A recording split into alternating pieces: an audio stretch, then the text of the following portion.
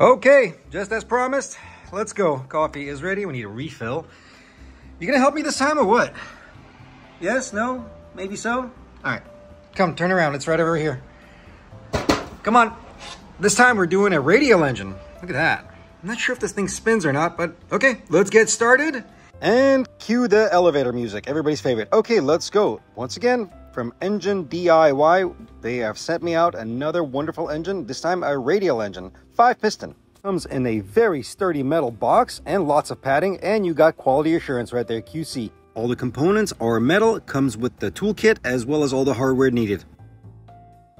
This model brings back lots of memories and nostalgia because the last time I actually touched a piston engine was back in A&P school. I think it was a Lycoming or a Continental, a flat 6 off of a Cessna 172. Model itself is very detailed, everything from rocker arms to push rods, even the spark plugs are there. And of course, the most important thing of all, the maintenance manual or the assembly manual, which is very well written. Before we begin, I always tell you guys up front how much it costs and where you can get it from. Here it is.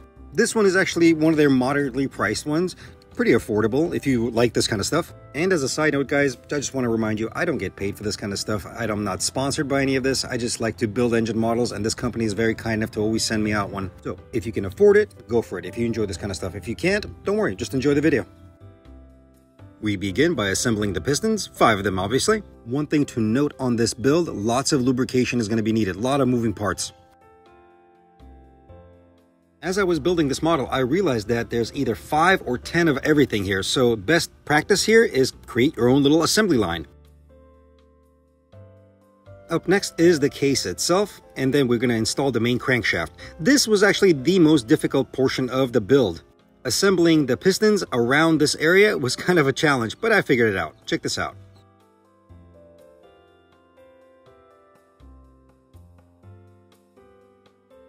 So this is really interesting. I'm I'm already running into problems.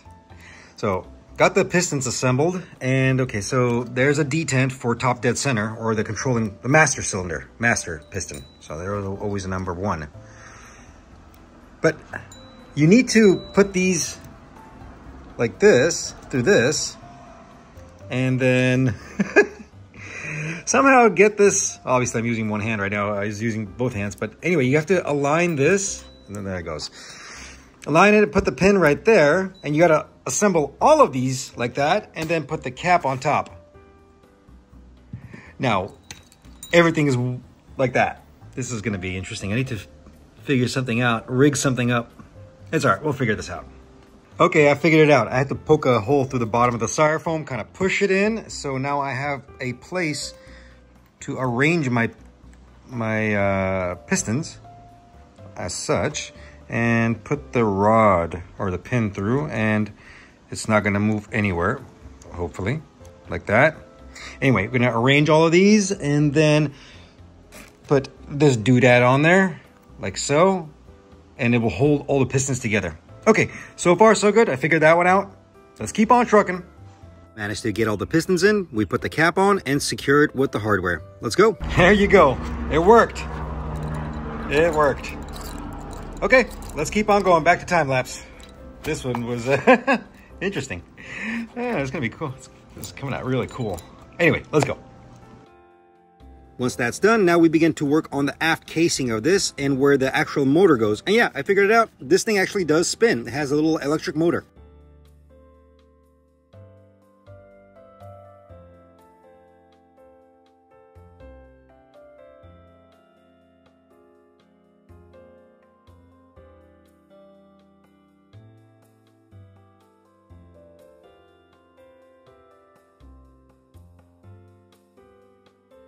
And I'm going to emphasize again, lubrication is needed consistently on every single one of these components. Use something like a light oil. I ended up using WD-40.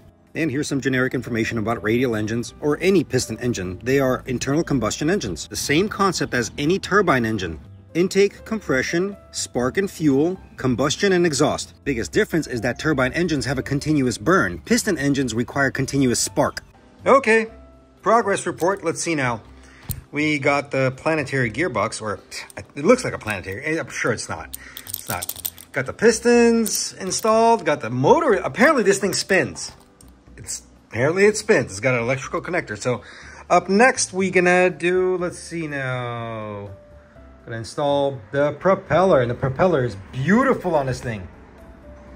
A gorgeous red anodized propeller. So yeah, that's up next. That's going right there. I am having way too much fun with this. Anyway, anyway, I'm gonna do this properly. Okay, I'm gonna put the camera down. Anyway, movie magic, let's go. In comparison to the other models, this one's actually really easy to build and I had a lot of fun with it.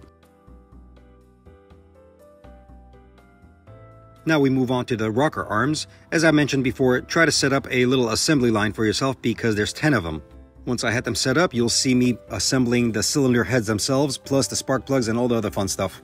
One thing I remember from A&P school is that we used to disassemble Continental flat six engines. We'd take them all apart, inspect all the internals, use our depth gauges, use any kind of micrometers to make sure all the gaps are correct, document all of it, and put it back all together. Very tedious work when it comes to general aviation aircraft especially if you're a technician rebuilding these engines. It's part of A&P school and it's the power plant portion of it.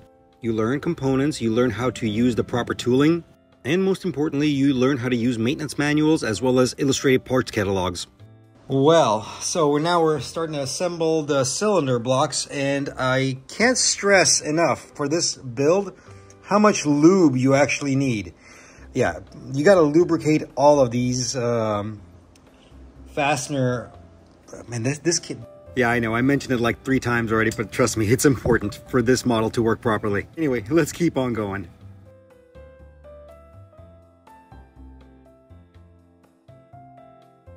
These are the cylinder heads, as you can see, installing these as well as installing the spark plugs. If you look closely, they actually even have valves that open up and close, the intake and exhaust valve. It's very enjoyable to see this minute amount of detail into these models.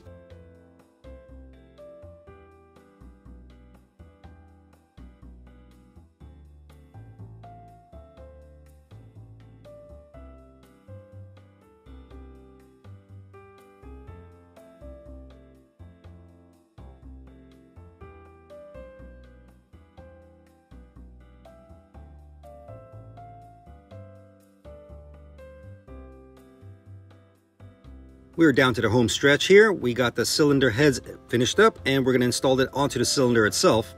After which we're going to put it onto the block and slide the pistons in.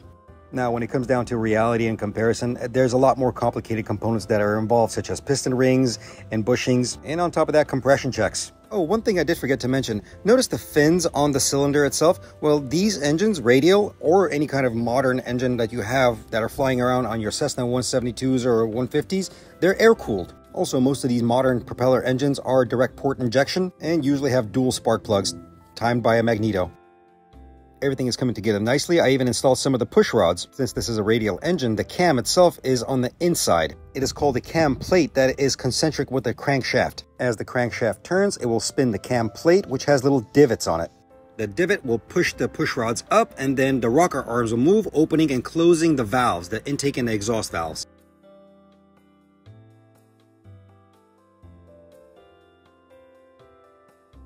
Well, if you made it this far, we are completing the build. Now we got to figure out how to make it turn. Well, guess what, guys? We actually got it done. Record time. I'm getting good at this. Almost took me about three, three and a half hours. Not bad at all.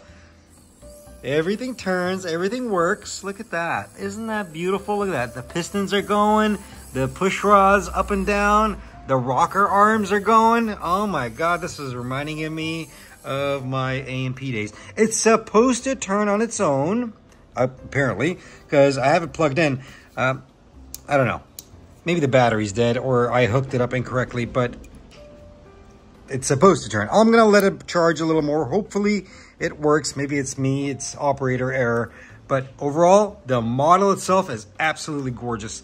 I'm so happy with this. This this thing is just, look at that. That is just something else, man. Beautiful, beautiful. After doing a little bit of troubleshooting, I noticed I hooked up a couple of wires incorrectly, but I fixed that and the model began to turn. I even charged it overnight. Came out wonderful. Check this out. And of course, we got to say it. Clear prop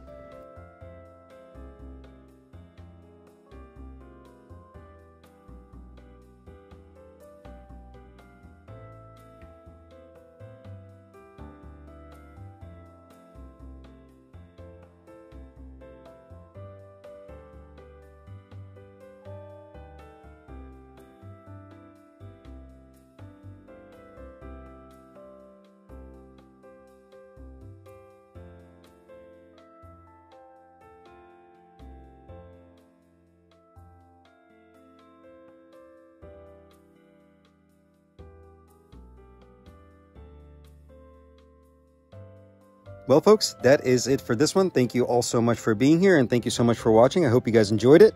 And a big, big thank you to Engine DIY for sending this out. I will see you guys on the next Stig project. All right, Stig signing out. Later.